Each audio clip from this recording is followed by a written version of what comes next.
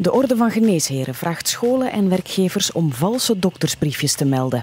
De orde wil dokters die systematisch onterechte briefjes schrijven op de vingers tikken. Zo zijn er veel bijzitters die een briefje krijgen zodat ze niet moeten meedoen aan de verkiezingen.